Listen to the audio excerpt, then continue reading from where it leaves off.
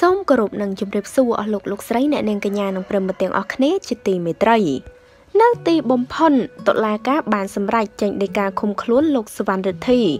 ដាក់ពន្ធនាគារពេលស៊ីហើយរាជធានីភ្នំពេញចៅក្រមស៊ើបសួរនៃសាលាដំបងរាជធានីភ្នំពេញ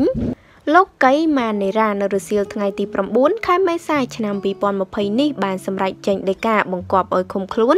លោកសវណ្ណរិទ្ធីអគ្គនាយក TVSB ដាក់ពន្ធនាគារពេលស៊ីពីបទញុះញង់ឲ្យប្រព្រឹត្តបទអូក្រិដ្ឋជាអាននេះបើយោងតាមដីការបស់ចៅក្រមសាលាដំបងរាជធានីភ្នំពេញដែលបណ្ដាញព័ត៌មាន Fresh News ទទួលបាន។ ការសម្រេចចេញដោយការបង្គាប់ឲ្យឃុំខ្លួននិងចោទប្រកាន់អគ្គនាយក TVSB បានធ្វើឡើងបន្ទាប់ពីជនសង្ស័យរូបនេះបានផ្សព្វផ្សាយព័ត៌មានបែបញុះញង់មានទាំងខ្លឹមសារផងនិង live វីដេអូផងតាមបណ្ដាញសង្គមពីវិធានការរបស់រាជរដ្ឋាភិបាលក្នុងការទប់ស្កាត់និងការពារជំងឺ Covid-19 សូមជម្រាបថានៅព្រឹកថ្ងៃទី9ខែមេសាឆ្នាំ2020នេះលោកប្លង់សុផលព្រះរាជអាជ្ញារង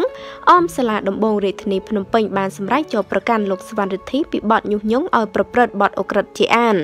ហើយបញ្ជូនទៅកាន់ចៅក្រមស៊ើបសួរចាត់ការបន្តតាមនីតិវិធី ដោយផ្អែកលើមាត្រា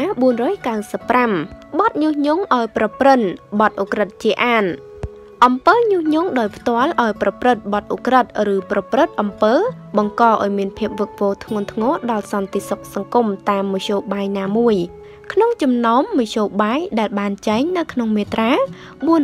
494លក្ខខណ្ឌអត្តភាពនៃការញុះញង់នៃក្រមនេះត្រូវផ្ដន្ទាទោសដាក់ពន្ធនាគារពី6ខែទៅ2ឆ្នាំនិងពិន័យជាប្រាក់ ចំនួន1លានរៀលដល់4លានរៀលប្រសិនបើការញុះញង់នេះគ្មានប្រសិទ្ធភាពទេចានៅពេលនេះតុលាការបានសម្រេចឃុំខ្លួនលោកសវណ្ណរិទ្ធីហើយគឺពីបនញុះញង់ឲ្យប្រព្រឹត្តបទអូក្រិដ្ឋជាអាន ដែលនឹងឃុំខ្លួនដាក់ពន្ធនាគារពេលស៊ីបើតាមមាត្រា495បានចែងថា អ្នកដែលប្រព្រឹត្តអំពើនេះ គឺអាចជាប់ពន្ធនាគារ ពី6ខែដល់2ឆ្នាំ ហើយពិន័យប្រាក់ពី1លានរៀលដល់4លានរៀលផងដែរ